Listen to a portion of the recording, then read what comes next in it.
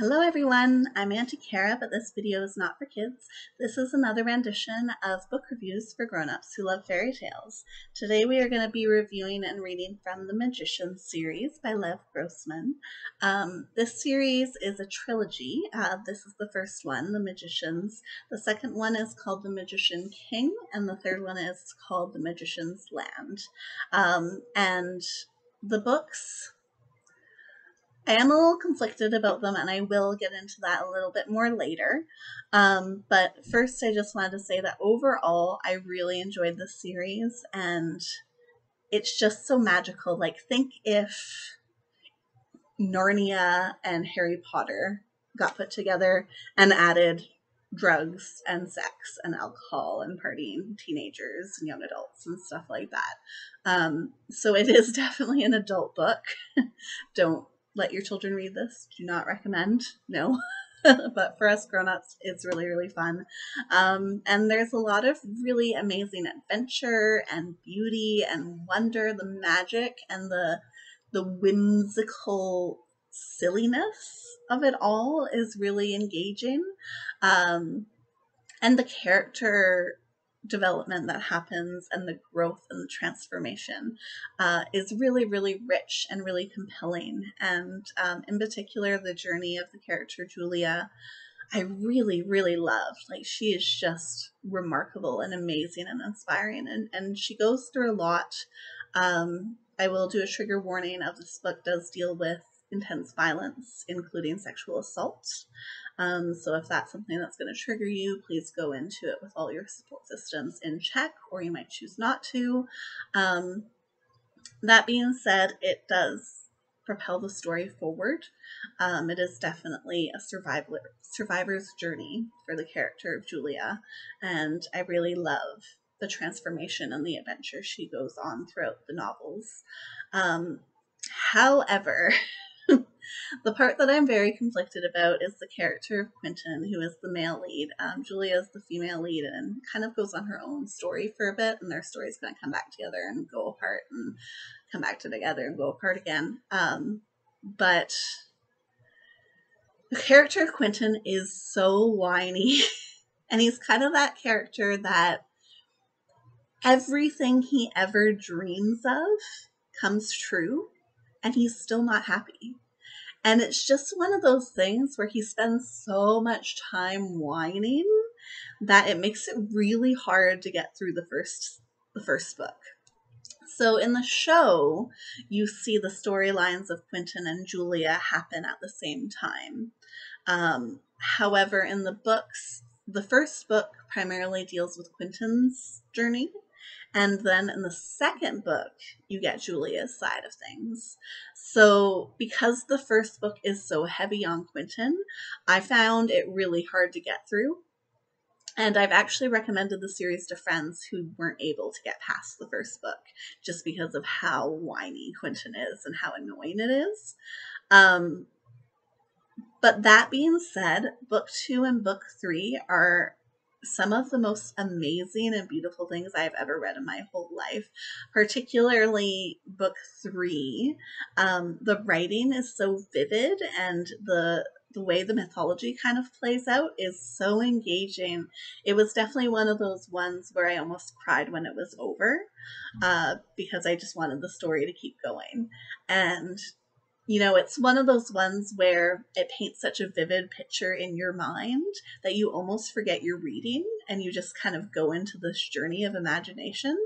Um, so I really, really enjoyed that about these books. And I am going to urge you and encourage you as much as I can to soldier through the whininess of Quentin in book one to get to the brilliance of book two and three. And that's not to say that there's not good stuff in the first book. Like there's a lot of really cool imagery around animal transformation and adventures and, and their first trip into the magical realm. And there is a lot of really good stuff in there. But you just kind of want to shake Quentin. and be like, if I had your life, I would be so thrilled. But he just, he's never happy. And he's one of those people that are never happy. And I think you just, when you're reading this series, you just have to understand that. And you just have to kind of meet him in his misery and realize that he's never going to change. You know, we all know these people. Um, so, with that said, I am going to read to you quite a few passages from here because there's just so much good stuff. Um, I'm going to read to you two shorter sections and one longer section. So, let's dive into the magicians. As he walked, Quentin unwound the little red threaded clasp that held shut the manila envelope. He saw immediate, immediately that it wasn't his transcript or an official document of any kind. The envelope held a notebook. It was old looking, its corners squashed and rubbed till they were smooth and round, its cover its cover foxed. The first page, handwritten in ink, read The Magicians, Book Six of Fillory and further. The ink had gone brown with age. The Magicians was not the name of any book Christopher Plover of any book by Christopher Plover that Quentin knew of, and any good nerd knew that there were only five books in the Fillory series. When he turned the page, a piece of white notepaper folded over once flew out and slipped away on the wind. It clung to the wrought iron area fence for a second before the wind whipped it away again. There was a community garden on the block, a triangular snippet of land too narrow and weirdly shaped to be snapped up by de- developers, with its ownership a black hole of legal ambiguity. Ambiguity. It had been taken over years ago by a collective of enterprising neighbors who had trucked out the acid sand native to Brooklyn and replaced it with rich, fertile loam from upstate. For a while they'd raised pumpkins and tomatoes and spring bulbs and raked out little Japanese serenity gardens, but lately they had neglected it. And hardy wood, urban weeds had taken root instead.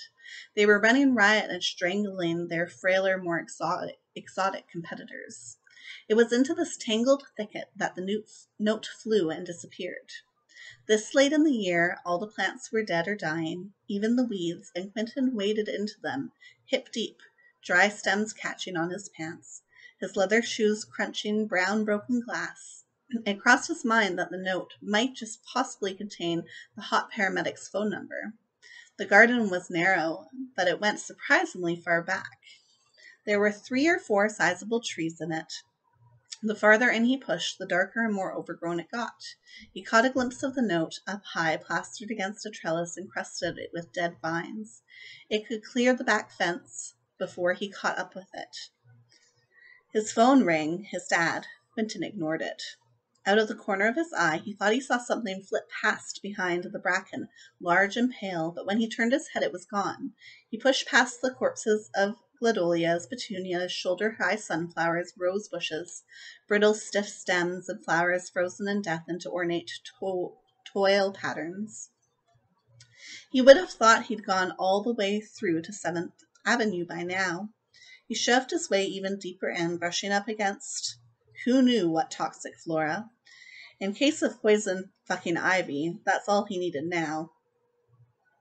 It was odd to see that here and there among the dead plants a few vital green stalks still poked up, drawing sustenance from who knew, where. He caught a whiff of something sweet in the air. He stopped. All of a sudden it was quiet. No car horns, no stereos, no sirens. His phone had stopped ringing. It was bitter cold, and his fingers were numb turn back or go on. He squeezed farther in through a hedge, closing his eyes and squinching up his face against the scratchy twigs. He stumbled over something, an old stone. He felt suddenly nauseous. He was sweating. When he opened his eyes again, he was standing on the edge of a huge, wide, perfectly level green lawn surrounded by trees. The smell of ripe grass was overpowering. There was hot sun on his face. The sun was at the wrong angle. And where the hell were the clouds? The sky was blinding blue.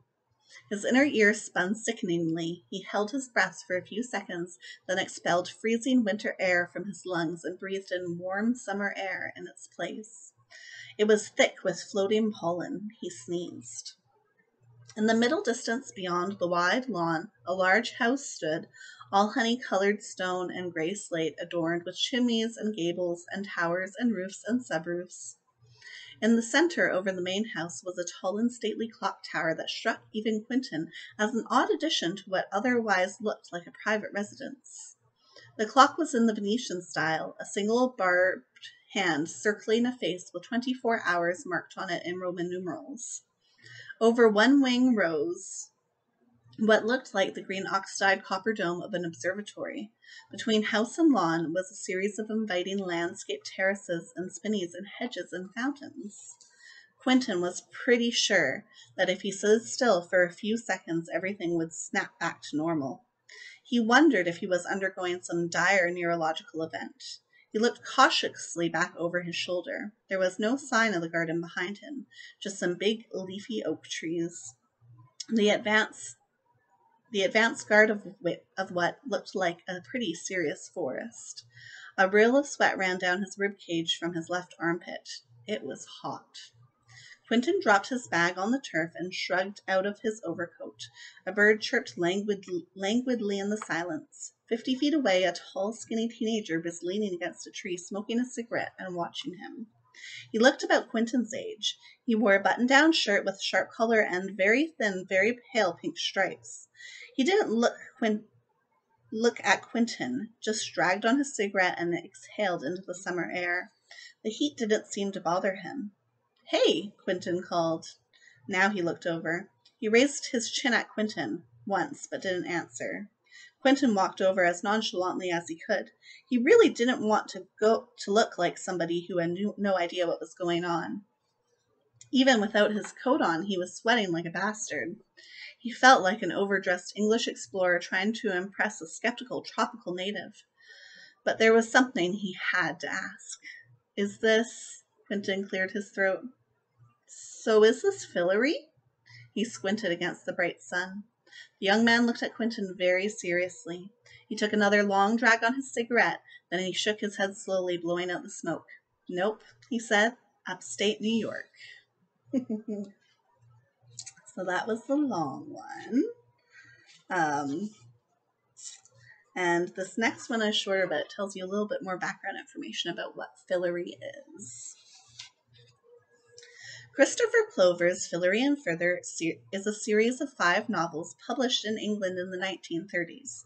They describe the adventures of the five Chapman children in a magical land that they discovered while on holiday in the countryside with their eccentric aunt and uncle.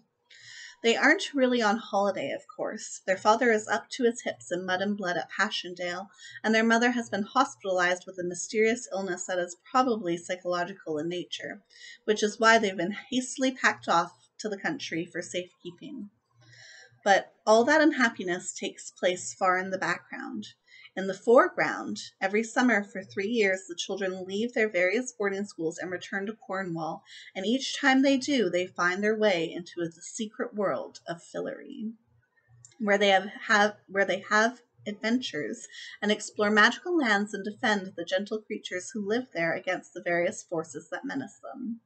The strangest and most persistent of those enemies is a veiled figure known only as the Watcher Woman, whose horological enchantments threaten to stall time itself, trapping all of Fillory at five o'clock on a particularly dreary, drizzly afternoon in late September. Unlike most people, Quentin read the Fillory books in grade school. Unlike most people, unlike James and Julia, he never got over them. They were where he went when he couldn't deal with the real world, which was a lot. The Fillory books were both a consolation for Julia not loving him, and also probably a major reason why she didn't. And it was true, there was a strong whiff of the English nursery about them, and he felt secretly embarrassed when he got to the parts about the cozy horse, an enormous, affectionate equine creature who trots around Fillory by night on velvet hooves, and whose back is so broad you can sleep on it. But there was a more seductive, more dangerous truth to Fillory that Quentin couldn't let go of. It was almost like the Fillory books, especially the first one, The World in the Walls, were about reading itself. When the oldest Chatwin, Melancholy Martin, opens the cabinet of the grandfather clock that stands in the dark, narrow back hallway of his aunt's house, and slips through into Fillory, Quentin always pictured him awkwardly pushing aside the pendulum like the uvula of a monstrous throat. It's like he's opening the covers of a book, but a book that did what books always promised to do and never actually quite did get you out, really out of where you were and into somewhere better. The world Martin discovers in the walls of his aunt's house is a world of magical twilight, an escape as black and white and stark as a printed page, with prickly, subtle fields and rolling hills crisscrossed by old stone walls. In Fillory, there's an eclipse every day at noon, and seasons can last for a hundred years.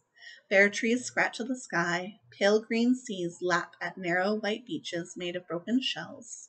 In Fillory, things mattered in a way they didn't in this world.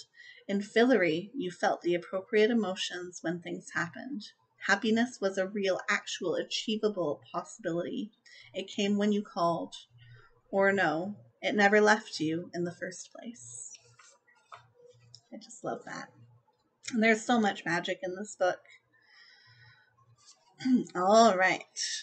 So the next one is pretty quick, and you'll see what it's about. To the one side of the path was a small spreading oak. Its bark was dark gray, almost black, and its branches were gnarled and wiggly and all but empty of leaves. Embedded in its trunk at the head of at head height, as if the tree had simply grown up around it, was a round ticking clock face a foot across. One by one, without speaking, they all scrambled up the slope bank to get a closer look. It was one of the Watcherwoman's clock trees. Quentin touched the place where the tree's hard, rough bark met the smooth silver bezel around the clock's face. It was solid and cold and real. He closed his eyes and followed the curve of it with his fingers. He was really here. He was in Fillory. There was no question about it now. And now that he was here, it would finally be all right. He didn't see how yet, but it would. It had to be. Maybe it was the lack of sleep, but hot tears poured helplessly down his cheeks, leaving cold tracks behind them. Against all his own wishes and instincts, he got down on his knees and put his head in his hands and pushed his face into the cold leaves. A sob clawed its way out of him. For a minute he lost himself. Somebody, he would never know who, not Alice, put their hand on his shoulder. This was the place. He would be picked up, cleaned off, and made to feel safe and happy and whole again here. How had everything gone so wrong? How could he and Alice have been so stupid? He bare, it barely even mattered now. This was his life now, the life he had always been waiting for. It was finally here. And it flashed into his head with sudden urgency. Richard was right. They had to find Martin Chatwin if he was somehow still alive. That was the key. Now that he was here, he wasn't going to give it up again. He must know the secret of how to stay here forever, make it last, make it permanent. Quentin got to his feet, embarrassed, and blotted his tears on his sleeve. Welp, Josh said, finally breaking the silence. I guess that pretty much tears it. We're in Fillory. All right, so that's all I'm going to give you. I highly recommend picking up this series. It is an excellent read despite how whiny Quentin is. um, I hope you enjoyed the reading and my review. And if you love it, if you've read it, if you hate it, please give me some comments below. Don't forget to like and subscribe, and I will see you next time for another review. Ta ta for now.